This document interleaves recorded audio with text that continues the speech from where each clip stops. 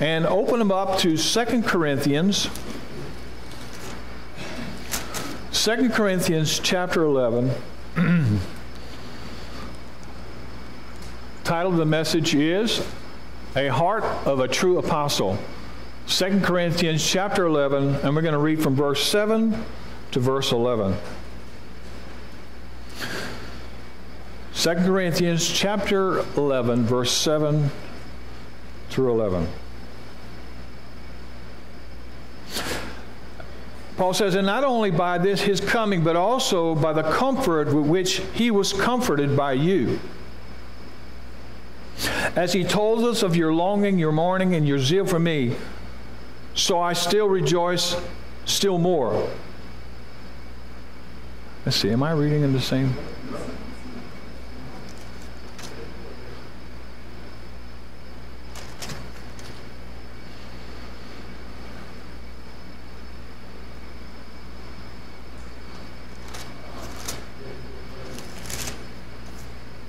I'm sorry, I'm in, I'm in the wrong chapter.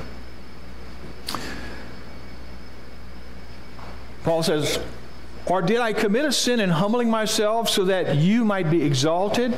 Because I preach God's gospel to you free of charge. I robbed other churches by accepting support from them in order to serve you. And when I was with you and was in need, I did not burden anyone, for brothers who came from Macedonia supplied my need. So I refrained, and I will refrain from burdening you in any way. As the truth of Christ is in me, this boasting of mine will not be silenced in the region of Achaia. And why? Because I do not love you? God knows I do. And Father, bless your word as it goes forth. In Jesus' name, amen.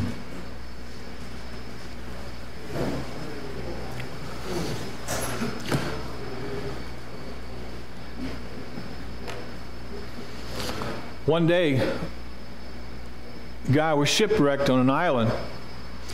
And while he was on that island, he began to start building his own places and farming his own land and you know trying to survive mostly. And he even set up a, a particular uh, system for SOS in case somebody would come. He had a fireplace, nice bundle of wood he would light. He also had it written in the sand, SOS. You know, he needed to be saved. He was the only one on the island. And lo and behold, one day he looked out on the horizon and there was a ship headed directly for the island. So, boy, he got his firewood together. He got his fire going. He, smoke was ablazing. Fire was ablazing. He had his little flags. He was flagging every every second he could get to get that that ship's or that captain's attention. The ship just kept coming closer and closer and closer to that island. And when he got there, they put their little dinghy in the, off the side and they went to the shore and they, they saw the guy standing there and was, he was like, oh, thank God, y'all came. He said, I've been on this island for a long time. And he says, I didn't know if I would ever be rescued. And so the, the guy who was steering the boat to pick him up looked out on the off on the the, uh, the sand right back in the palm trees, and he says uh, he noticed something. He noticed there were there were three houses that were built.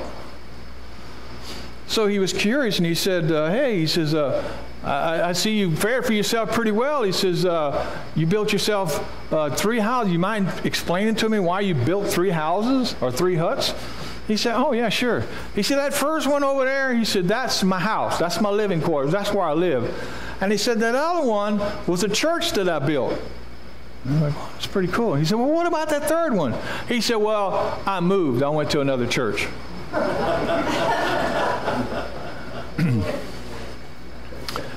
And folks, you know, it's, it's really, it's hard to say this, but it's the truth. Fact is that so many times, even in today's society, postmodernism society that we're living in, people have that same mindset. If they don't like the church that they attend, they go to another one. And they bring their troubles with them and bring it to another church. If they don't like that church, they go to another church. They keep, we call it buffet Christianity. So, whatever fits your lifestyle, whatever fits your your theological mindset, sometimes people will choose where they want to be comfortable rather than where they want to hear the truth from the Word of God. And as you well know, Paul and his, uh, his mission outreach to these Corinthians in his day and time, a very talented people, a very uh, smart people, people who prided themselves on intellect. It wasn't a question of these folks not being smart, they were very smart. However, uh, they decided that their learning ability and their genius lifestyle, they thought they could incorporate the world into their lifestyle, into their living in the church. And so there was a lot of problem. But by this time in his letter, Paul began to win some of them back to the understanding of what God expects of them. Because remember, they were blood bought the same way Paul was saved and became a Christian. However, there were those who were seated in that church that were false teachers. And, and one of the things that, that Paul, and I know it, it must have really pained him so, but I can only imagine. I just, I, I can't really empathize with what he went through. It pained him very much to begin to start talking about his credentials. Because it would almost seem like he's bragging about everything that he went through when God called him to preach the gospel to the Gentiles. So it pained him devastatingly to be able to even suggest anything about anything that he ever did. But because of these false teachers, he wasn't going to give them a leg. He wasn't going to give them a foothold pertaining to what they were doing in their mindset. Remember, they were workers of Satan. They were there to bring Paul down, discredit his ministry. And that's just one of the areas Satan would use to be able to keep people from hearing and believing on the gospel. What better way than to trash Paul's character? And so they were going to use this whole premise of him being a, Paul himself being a false apostle. But Paul was going to turn it on them. And he was going to use many of the things that he did in order to verify who he was genuinely as a believer, as a servant of the Lord Jesus Christ, as a bondservant of Christ, and as an apostle called by Jesus Christ personally. And so he was going to defend his position. And here's what he's going to do. The one thing that was, begun, that was going to be so evident about this man's life was his humility. Now, you can only fake humility for so long.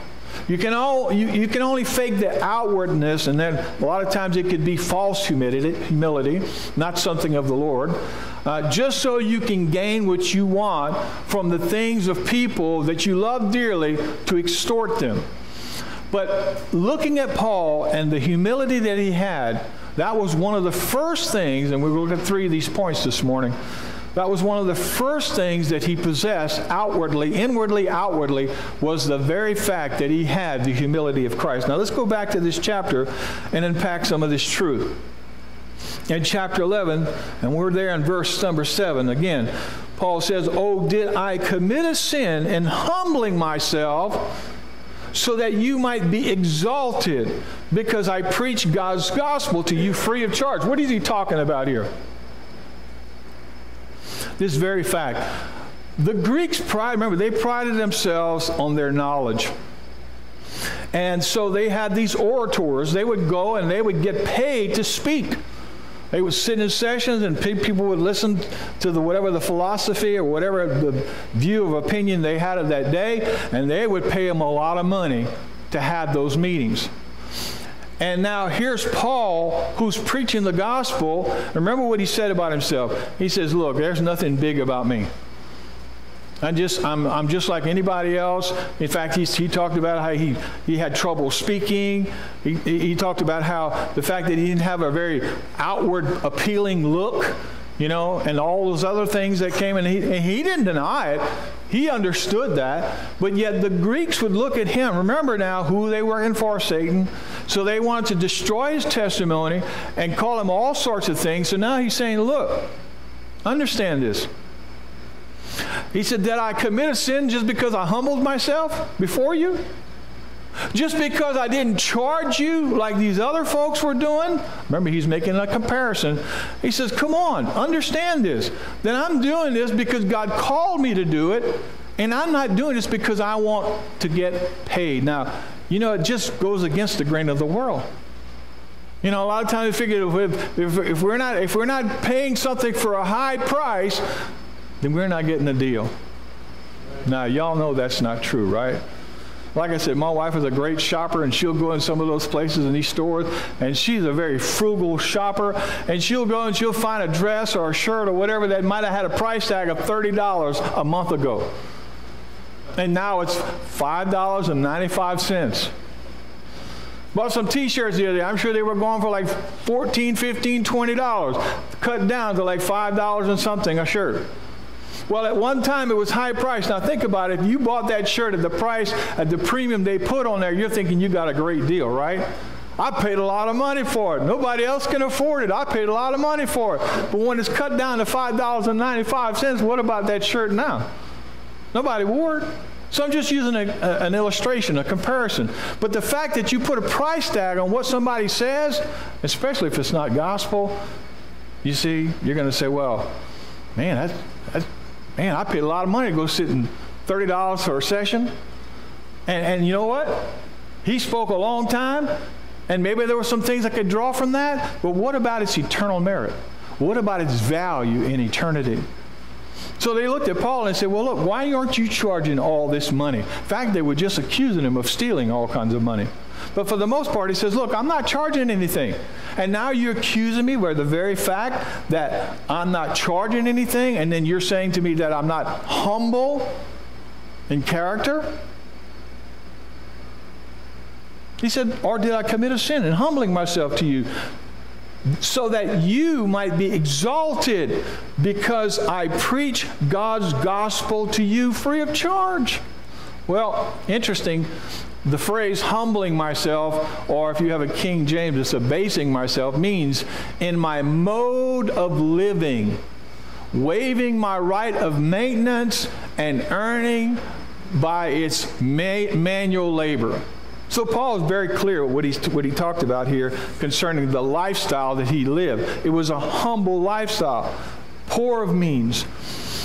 So let's look at verse number six. We looked at this passage of scripture last week, but verse number six clearly, Paul is talking about how he identified with his competitors, these false teachers, false apostles. He says, even if I'm unskilled in speaking, so he see he admitted it. I am unskilled in speaking. I am not so in knowledge. But see again, Paul, I consider him a genius. Indeed, in every way, we have made this plain to you in all things. So he says, I'm not denying it. I'm not making, making myself out to be something I'm not simply because I'm an apostle of Jesus Christ, a called out one by Christ. In, uh, in chapter 2 Corinthians chapter 10, verse 10, notice what else he says pertaining to his accusers. He says, For they say his letters are weighty and strong, but his bodily presence is weak, and his speech is of no account. You see, simply because he didn't dress a certain way or because he didn't talk a certain way, he doesn't count. He's nothing. See? Again, that's that's Satan's plan. So Paul, of his manner of service, it was plain for everyone to see. He was a very humble guy. And in verse uh, in verse eight, it was also his manner of support. Verse eight, back in Second Corinthians chapter 11. Paul says to them, I robbed other churches by accepting support from them in order to serve you. Now, what is he talking about? I robbed other churches. Well, the word robbed means to spoil, to plunder, or seize, or snatch away.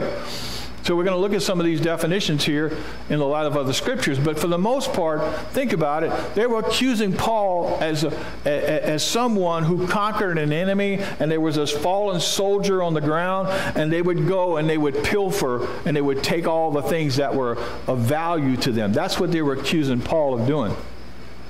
If we turn to the book of Acts in chapter 18,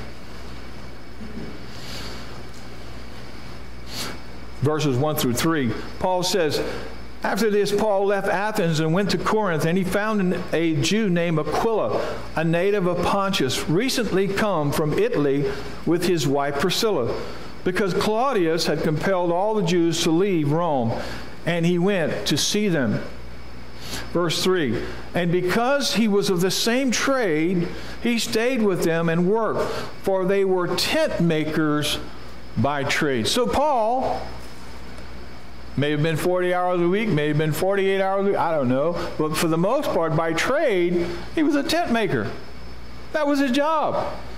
And it, that's how he was employed knowing that this is what God also called him to as a minister of the gospel. We can look another point of reference in Philippians chapter 4 verse 10 and verse 10 through uh, 20. So if you want to turn there, you're welcome to do that. Paul says, I rejoice in the Lord greatly that now at length you may you have revived your concern for me. For you indeed concern indeed concerned for me, but you had no opportunity. Not that I'm speaking of being in need, for I have learned in whatever situation I'm in to be content. I know how to be bought low. I know how to abound in any and every circumstance. I have learned the secret of facing plenty and hunger and absence and need. This is one of my favorite verses. But you got to take that verse into context what he's saying before that and what comes after that.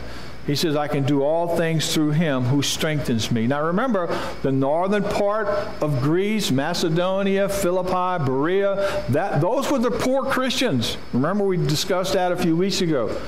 And, and they were giving out of what? Out of their poverty to help Paul, to help these, to give him money to send back to these starving Christians in Jerusalem.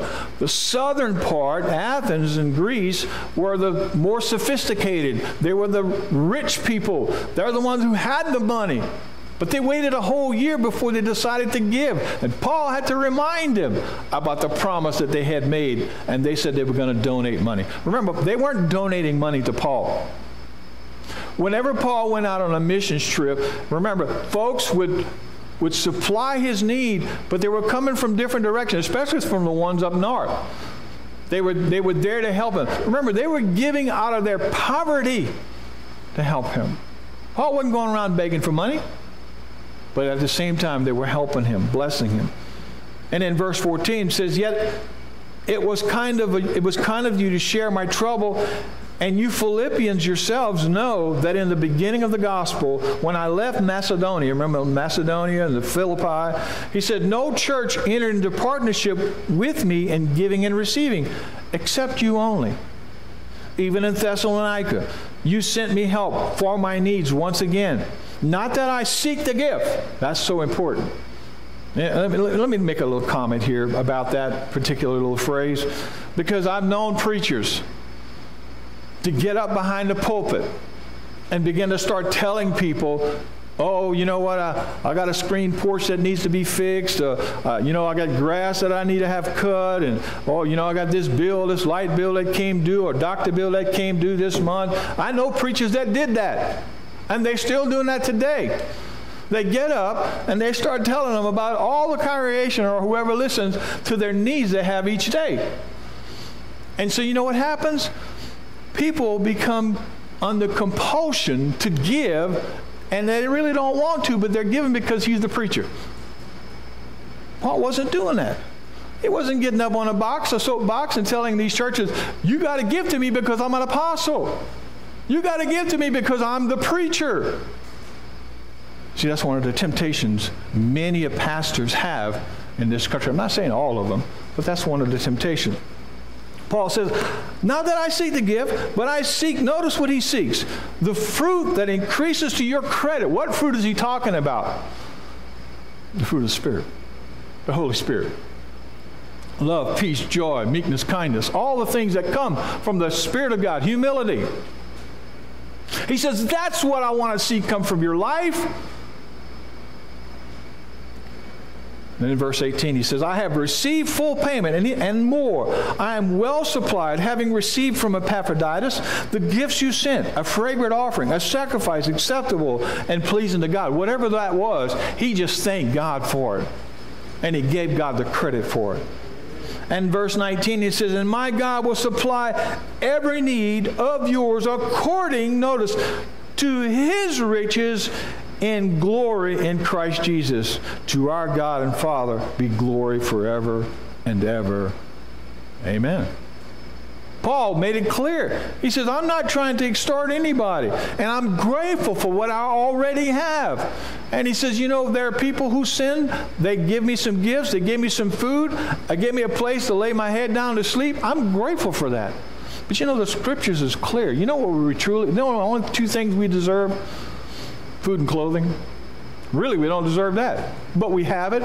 And the Bible's clear that if a man does not work, I'm just telling you what the Bible says. You get mad at me, you got to get mad at God because He's the one who said it. A man don't work, he don't eat. Amen, Brother Tony. man don't work, he don't eat. And we have a lot of hard workers here. And you know, God gives you the grace, He gives you the stamina, He gives you the strength to work. And I know we have retired people too. But just because you retired, do you stop working? Maybe not for so much a boss, but you know, you can't stop working. It just doesn't, hey, it just doesn't come to you. So Paul made that clear. And giving God the credit. Now, while he was at, while he was in Corinth, remember that was his second trip, he wrote, missionary trip, he wrote first and second Thessalonians.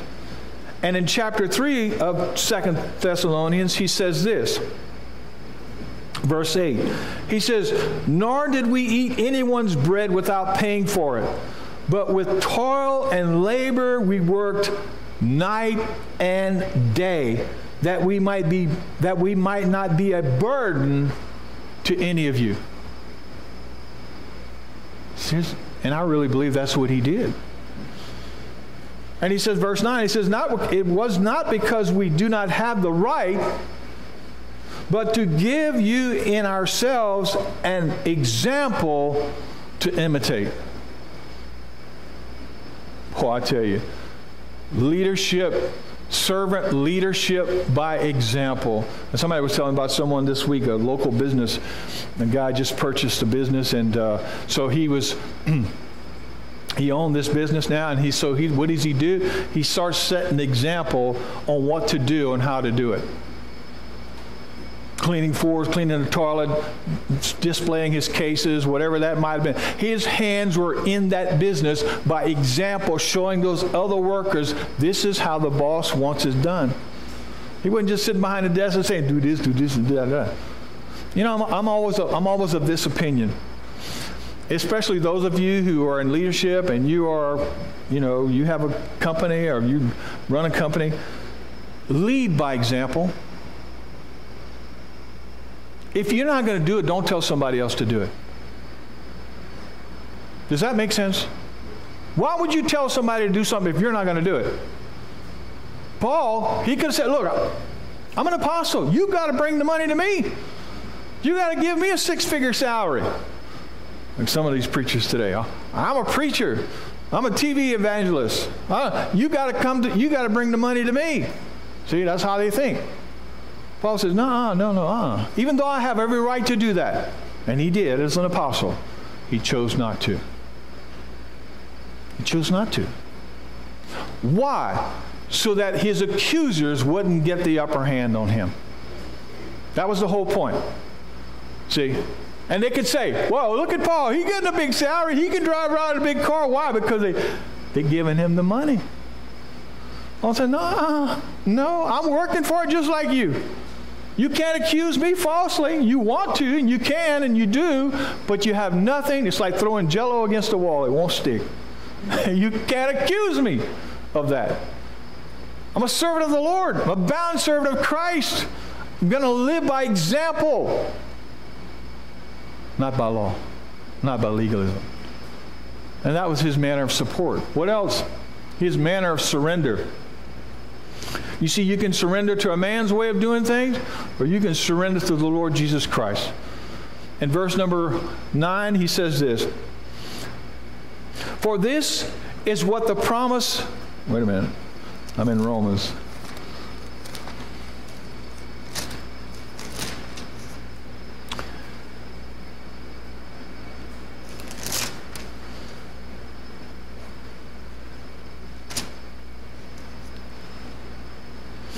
And when I was with you and was in need, I did not burden anyone, for the brothers who came from Macedonia supplied my needs. So I refrained and will refrain from burdening you in any way. The word burden means without weight. You see, that was the heart of Paul. He wasn't going to lay anything to anyone else so that anyone, especially his false teachers, these false apostles, would lay any claim to him and saying, Paul, you did it for the money. Well, let's turn to 1 Corinthians chapter 9 and verses 1 through 23. Well, let me read it to you. Again, we covered all these verses. Paul, an apostle, as he states again, he's having to defend his position before these false teachers. He didn't have to. Again, it wasn't one of the one of the things he wanted to do, but he really had no choice. He says, "Am I not free?" Verse 1. Am I not an apostle? Of course, those are rhetorical questions. Yes. Have I not seen Jesus Christ our Lord? Yes. Are you not, or are not you my workmanship in the Lord? So he's talking about how he had won them to Christ. And he saw them as a father, spiritual father. Verse 2, and he says, If, if, if to others I am an, I'm not an apostle, at least I am to you. For you are the seal of my apostleship in the Lord. Now remember what they were doing. They were betraying him. The very people who won them, that he won to Christ, they were betraying him. They were turning their backs on him. Verse 3, he said, This is my defense to those who would examine me. When they did a lot of that. Verse 4, do we have the right to eat or drink? Do we? Yeah. Do we have the right to take along a believing wife? Do we? Yeah. See? Apostles, when Peter was married, as do the other apostles and the brother of the Lord, Cephas. That's Peter. Verse 6 Or is it only Barnabas and I who have, not, have no right to refrain from working for a living? They didn't, they didn't have to work, but they did. Chose to. Who serves as a soldier at his own expense? No one. Who plants a vineyard without eating of its fruit? No one. Who tends a flock without getting some of the milk? No one. Verse 8 Do I say these things on human authority? Of course not. Does not the law say the same? Yes, it does.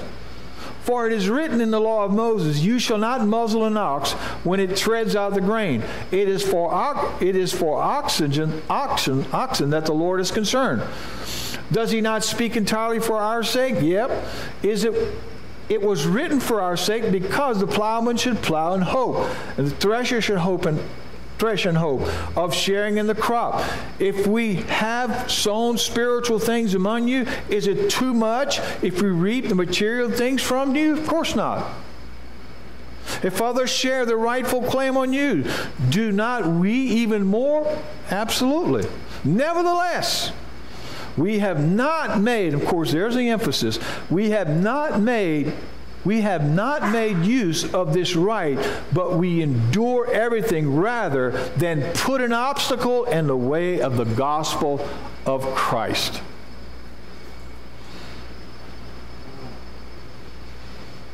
You see that? You see how you see how Satan works? And he put that into their mind. Now, you know, I, I, for me, it's still, it's still puzzling in, in some aspects because why would anybody who came to know Christ, Paul preached the gospel to them, he, he lived by example, he lived with them for almost two years. They saw his manner of working. He was a tent maker by trade. And, and, and, they, and they saw him, but yet, after he left, these false teachers came in and put a little bit of deception in their mind about him. And they fell for it hook, line, and sinker. I mean, they just. And I, and I asked myself, well, why would they do that? Why would they turn against Paul after they saw him live out, by example, a lifestyle that said this I'm not going to be a burden to you? And then listen to those false teachers. Folks, your enemy and our enemy is deceptive. The Bible calls him the father of lies. And he will stop at nothing to put a doubt in your mind Probably why you even here today. What's the whole point of going to church?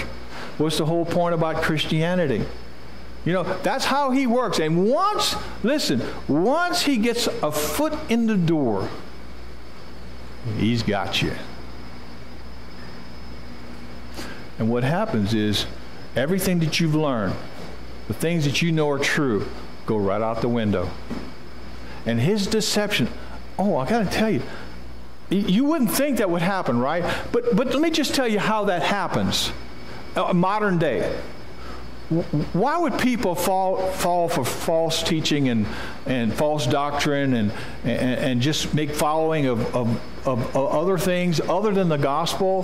Why, why, would people go after those things? Why would people leave one church and go to another church and go to another church and go to another church? I remember a guy one time, he'd look at his watch. He came to a Bible study, look at his watch, and he'd say, Well, you know, I got a meal over here uh, Wednesday. I got a meal over here at this other church Thursday. I got another meal here on Friday. I'm thinking, was that all you think about church? Where you can get a meal? And if I told you next Sunday we're going to have fried chicken, I wonder how many people would show up for fried chicken next Sunday. Thank you for being honest, brother. But you know that's what that's what people think about when it comes to Christianity. What's in it for me? Remember Jesus when he would teach and preach on the hillsides in Jerusalem and Galilee? He'd talk about what? The kingdom of God, right? And he'd have a gathering, thousands and thousands of people would come out there and they would sit down while he spoke. Miracle how he got to everyone's ear, but that's God. And they heard him speak, and, and, and all the while he's telling, he's challenging them. He's challenging them in the, in the lifestyle that they're in, and now he's challenging about what they need to do to have a new life. And when he began to talk about the things like, you know, crops, sheep, houses, soil, trees, gates, oh, they put their ears perked up, and that's how he got their attention. But then when he started telling them about the root of the matter, about their lives and how they lived in sin and how they needed a Savior, how they needed Him, guess what? They quit following him. Why? Because he expected something from them. He wanted them to trust in him as the only Lord and Savior, as the only one who could forgive them of their sins. But look, they're looking at him and thinking, What sin? All we want is a free meal, like you gave us. All we want is free health care, like you gave us.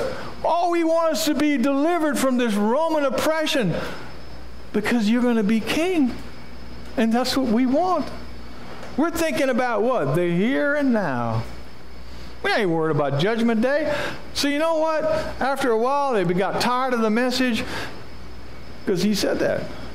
He told that to his disciples. He said, What about y'all? He said there's a bunch of them that just left because they see is what they heard was hard sayings. In other words, you got to give up your sin. They didn't want to do that. So Jesus looked at him and said, Are you going to leave too?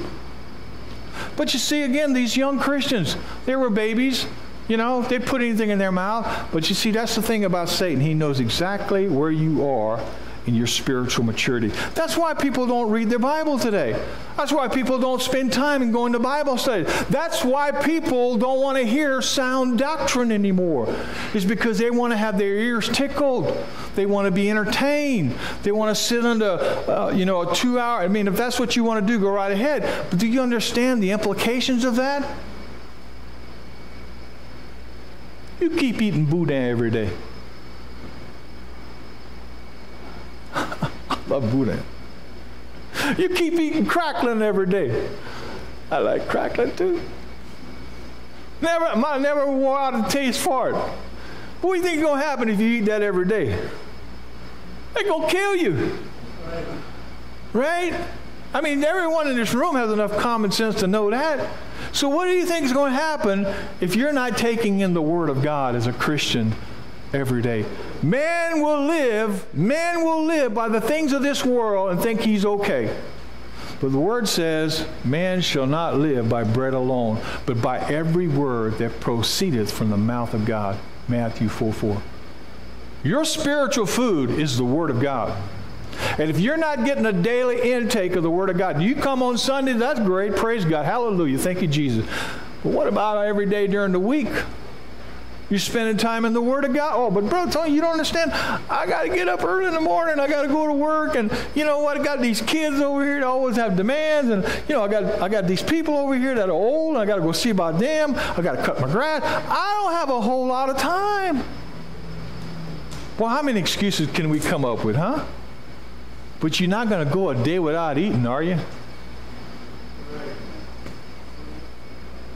Paul says, I didn't want to be a burden to these Christians because he understood the implications behind all of that and what his false accusers would, would hold so dearly to accuse him of something. You know, it's the same thing what they did with the Lord. They looked for every reason to trap him. But you know what? They couldn't do it. He's God. And they, tr- see, that's the thing about the devil. He will stop at nothing to think he will succeed. And maybe he's got you duped. Maybe you're here today and you're thinking, well, you know what? I'm okay. You know, I played a game, but I'm all right. I see myself as okay. Well, let me tell you what, you're a deceived person. If you think you can continue to live your life without Jesus Christ, you're deceived. I'm not just talking about a one time thing. And that, you know, again, that can be, could be a confusion about a lot of things. Maybe they were thinking the same thing too. You know, I'm saved, I'm going to heaven. That's what they were thinking. They were saved and they were going to heaven. Now I can live the kind of life I want to live. That's what some people actually think. I'm saved. I'm, I was baptized. I was raised in a church. So I can live like I want to live. Seriously? Really? You need to go back and read your Bible.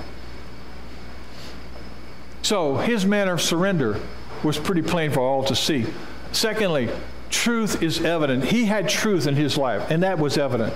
His manner of his inspiration, back in 2 Corinthians chapter 11 and verse 10. Paul says, As the truth of Christ is in me. That's a huge comparison, folks. Because we understand what the Bible says, right? Jesus Christ says he is the way, the truth, and the life. No man cometh to the Father but by him. John 14, 6. There's no other way. Paul is identifying with the only source of truth, with the only one whose truth from top to bottom, inside and out, as far as you want to reach into the heavens, Jesus Christ is truth. Not subjective, but absolute truth and no other. Don't you believe what all these talk show hosts are saying today? I remember one time uh, Oprah Winfrey said, and by the way, she follows a cult, that's her own. She said, There are many ways to God. She said that. There are many ways. She doesn't believe there's just one way to God. She believes there's many ways to God. Do you believe that? Do you believe there's many ways to God? Michael Jordan, he believes in Zen meditation. Remember, all of this stuff is not, it's what we call today, they call the New Age movement. It's not new, it's old age stuff. Eastern mysticism, it all comes from the pit of hell. It all goes all the way back to the Tower of Babel, where every man thought he was God that he could create God in his own image and he could worship a tree or a frog or uh, whatever he wanted to worship a bike, he could worship a bike. Doesn't matter. Satan doesn't care what you worship. But when you look to Jesus Christ, he starts looking at you. That's why Jesus Christ is the name above every name. And one day, one day, Jesus is going to put his foot on his neck and he's going to say, That's it. No more your shenanigans. No more your deception. But his manner of inspiration as the truth of Christ is in me, this boasting, this, in other words, what he's saying, this rejoicing is what he's saying. That's why he put the word boast on it. Because you would look at it and you say, well, he's bragging, right? No, he's, he's rejoicing so he puts a lot of emphasis on it by using the word boasting because this was his life. This is who he bragged about. This is who rejoiced in. This was his whole life from start to finish. The day that he met Jesus on the Damascus Trail, on the Damascus Road, that's when his life changed forever. And he says, This boasting of mine will not be silenced in the reasons of Achaia.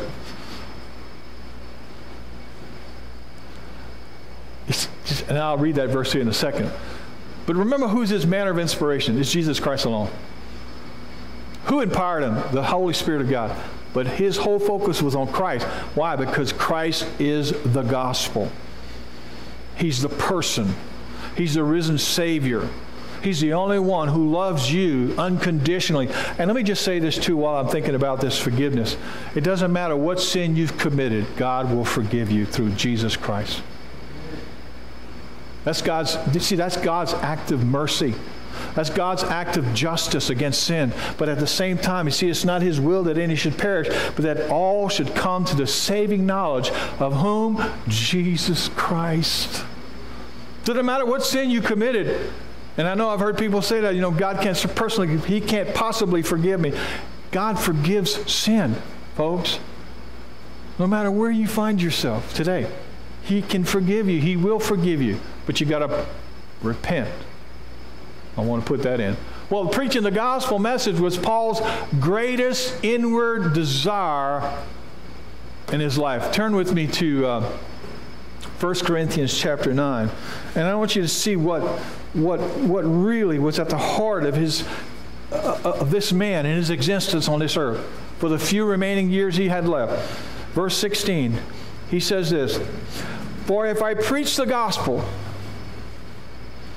that gives me no ground for boasting. In other words, to brag on himself. For, it, for necessity is laid upon me. Now, watch what he says at the end of that verse.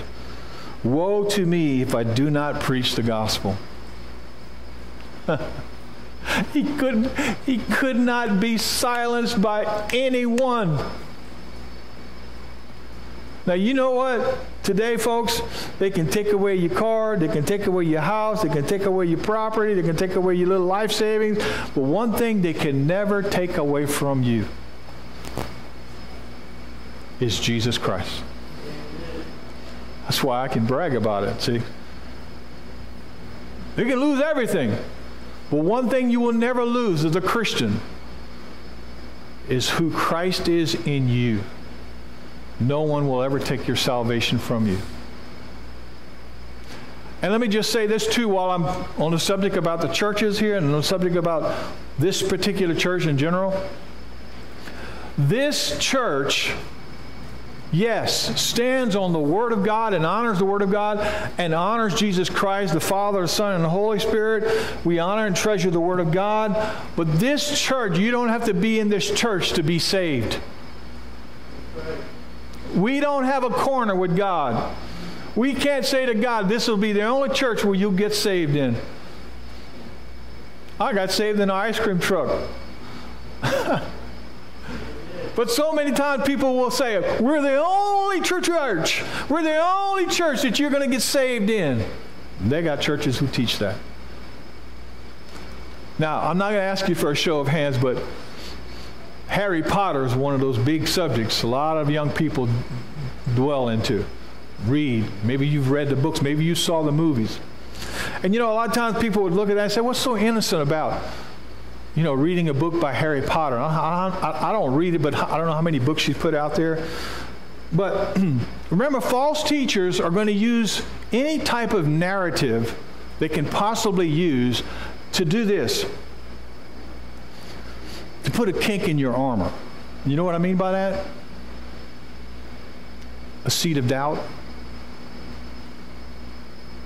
That's what Satan does. That's, he's brilliant at what he does. I don't like to give him the credit, but that's what he does, and it works. And once he's got a little, once he's got a little kink in that armor, then he can start feeding you all this other garbage, like for instance Harry Potter, Potter to your kids. Let me just read something to you.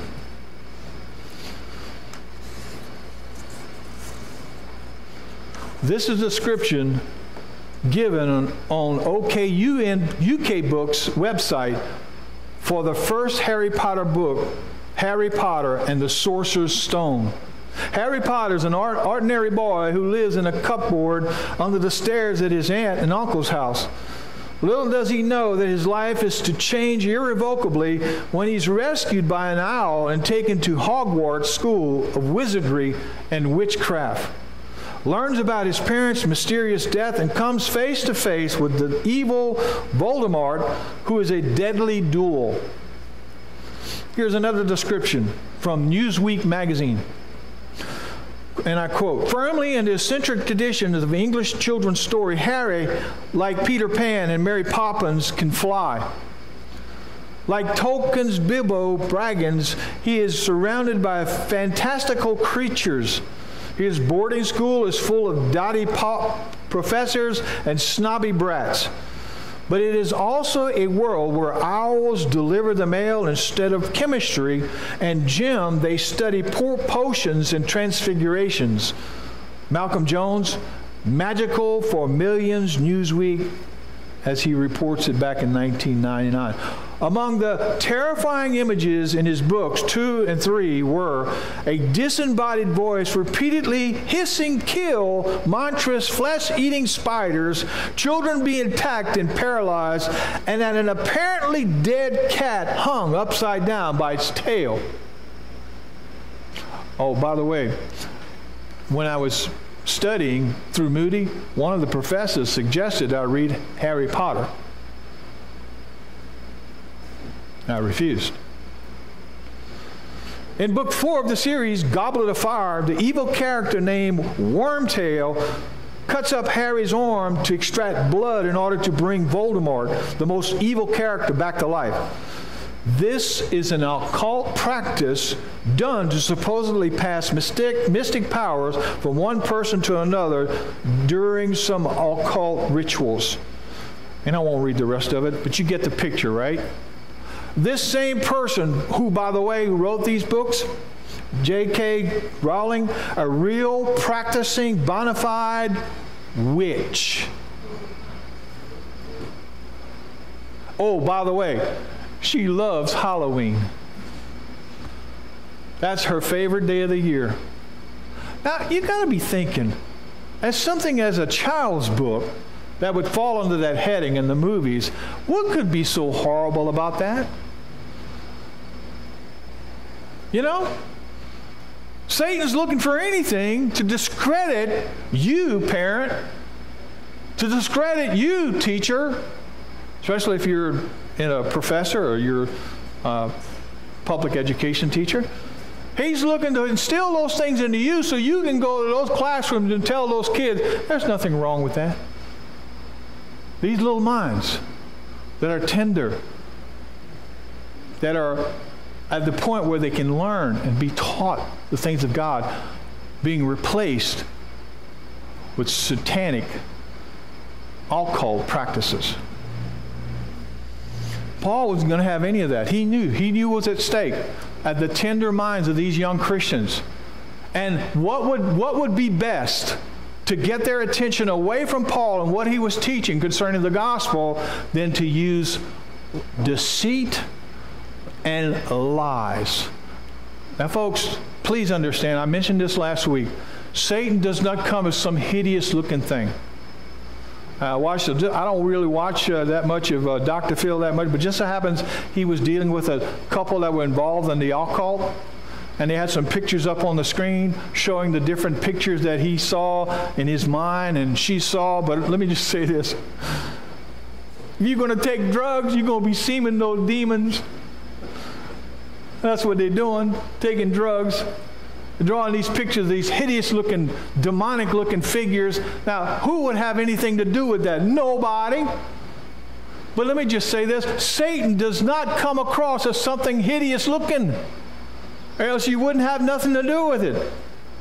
He comes so subtle, so seductive, so in a quieting manner into your mind and making you think you've got to have it. Boy, he's, he's very seductive. And he's very keen. He's very good at what he does. But let me just read a couple of things about what the scripture says in regard to dealing with the occult, or if you devil, deviling in it. uh, Leviticus 19:26 says, "You shall not eat any flesh with its blood in it, and you shall not interpret omens or tell fortunes." Chapter 19, verse 31 of Leviticus says, Do not turn to mediums or necromancers. You know what necromancing is? Praying to the dead. You say, Well, we don't do that. Uh, what? There's, there's big, big religion here in town. They, all over the world, that's what they do. They pray to dead saints. That's necromancing. Do not seek them out, and so make yourselves unclean by them. I am the Lord your God. You see how subtle this is? And then, lastly, here this morning, love is evident. His manner of his motivation. Everybody has to have a motive for the reason they do certain things back in 2 Corinthians chapter 11 and in verse number 10 and 11 because they go in together. He says, "And the truth, as the truth is of Christ is in me, this boasting of mine will not be silenced in the reasons of Achaia. Why? And that's the question he uses. And why? Because I do not love you? On the contrary, it's rhetorical. Yes, he says he does love them. And notice, God knows I do. So God, he always calls God unto his witness. Why? Because he had a conscience just like you have a conscience. His manner of motivation was this out of pure love, out of his love for them, not for what they had. You know, I tell folks all the time, I say, if you can't be my friend for what I don't have, I don't want to be your friend.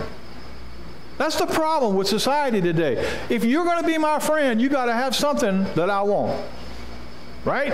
I mean, that's what we think. Now, I'm not talking about anybody in this church, but that's the, that's the mainline belief system here. The only way I'm going to be your friend is you got something for me, and vice versa. Well, that wasn't Paul's motivation. It was simply to love them, it was simply to tell them what was true. And you see, that's what happens sometimes. People get mad, they don't want to hear the truth. we don't want to hear the truth. Tell us what we want to hear. Tell us the things that'll make us excited in our mind towards carnal things. What was his banner? Again, agapo. The word love in the Greek means this used in a social or a moral sense. It means to welcome, to entertain, to be fond of, or to love dearly. And that was, there wasn't any question. Paul risked his life for these individuals. Now, you know what? There's no greater love than a man lay his life down, right? That's what Jesus taught. And in the same way, he was relentless. Why? Because he understood this. Eternity was in the balance for these souls. And Satan, the culprit, wanted to destroy his testimony so that what? They would follow after these false teachers. And that would be the only way these false teachers could gain an audience with these folks. Really, what they were, you know what they wanted, really? We'll look at them next week, or not next week, but the following week. What they really wanted was their money. Money. Every false teacher, that is his bottom line. Money. So 1 Corinthians uh, chapter 1, verse 6. Uh, 2 Corinthians chapter 1 verse 6 says, If we are afflicted, it is for your comfort and salvation. And if we are comforted, it is for your comfort, which you experienced when you patiently endured the same sufferings that we suffer. And then in chapter 20, same chapter 1, verse 23, he says, But I call God to witness against me. It was to spare you that I refrained from coming again to Corinth. Remember what he was going to do. He was going to deal with the sin in, there, in that church. He was going to deal with them in a, in a physical manner. Remember, divinely inspired. And he didn't have to. Folks, here it is. You know, you think about how much God loves us. There's no one, no one can love you more than God can love you. It's just like parents. You have children. If you're blessed with children, praise God. Your, your children will never love you more than you love them. Do you know that?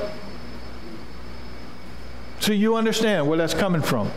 But God loves you even more than that. If you took everybody in the whole world and everybody that ever lived on planet Earth and put them all together and say love, they could still never outdo God's love. Period. Because He's love. The Bible says He's love. And he demonstrates that love. And how did he do it? He did it on the cross. That's why Paul was so adamant about this whole possibility of people who are dead in their sins, undeserving of heaven and eternity. He knew because you see, he was also a murderer. Although he followed under the name of religion for what he did. He'd say, God, God, just like those people who ran into those buildings there. They did, they said they did it for Allah, for God. Well, I wonder where they woke up. Paul did it for the true living God. He understood what Christ did for him, but he wasn't going to do it at his brothers and sisters' expense. Well, that's it. I'm telling you, you don't. That's far and few between today. You don't hear that today. Everybody's on this business mode. Well, how much money we can make? They're making gobs of money now with Wall Street. Gobs of money, just money on top of money. And, and most of them are not going to be able to spend it all in their lifetime. so there got to be another reason, see? But you see, that's how it is. When a person does not have Christ, he can never have his needs fulfilled. When a person is not in right standing with God, he can never, ever be forgiven. He can't forgive himself. So, what does he have to do? He's got to bow his heart to Jesus Christ. He's got to repent of his sin. Paul knew once he did that, you see, now he became out from underneath the dominion of Satan. Satan knows that. So once you trust Jesus, once you repent of your sin, once you put your faith in Him by grace alone, through faith alone, in Christ alone, what He did on the cross, only what Jesus Christ did, what does He do? He forgives you. Genuine rep- repentance will bring about forgiveness and also bring about change. Well, you might step in the, li- the left to the right, but you'll always get back on the, back on the path of righteousness. Why? Because God's not going to let you fall through the cracks. But then it has to be something you must do. You must obey what he says. You can't just say, I love Jesus, I love Jesus. I'm going to heaven, I'm going to heaven, and think that you don't have to obey what the Word of God says. That's some of you sitting here in this room today, and you know you're in disobedience with God, but you don't care. Friends, I'm here to tell you God loves you, but He wants you to get right. And I say this to you in love. I don't say this to you because I'm looking at you thinking, well, you know what? I don't have any problems in life. Everything in my life is hunky dory. I'd be lying to you if I told you that. But I'm grateful. I'm thankful. I'm a saved man. I get the privilege of preaching the Word of God to you. See? And I know there's nothing special about me other than I'm a blood bought sinner by the grace of God. So that qualifies me. And I'm grateful for that privilege. A little girl was talking to a teacher about whales. The teacher said it was physically impossible for a whale to swallow a human because even though they were a very large mammal, their throat was very small. The little girl stated that Jonah was swallowed by a whale, and the teacher reiterated that a whale could not swallow a human. It was impossible. The little girl said, When I get to heaven, I'll ask Jonah. The teacher asked, What if Jonah went to hell? The little girl replied, Then you ask him.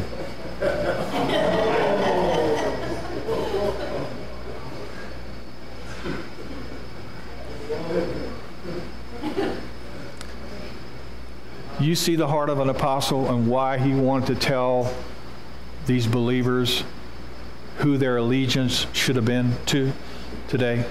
your allegiance, if you're a believer, should be to Jesus Christ and Him alone. Just stand, please. Heavenly Father, we thank you, Lord, today, again, as always, for this grace day, God, you've given us to worship you and praise you in.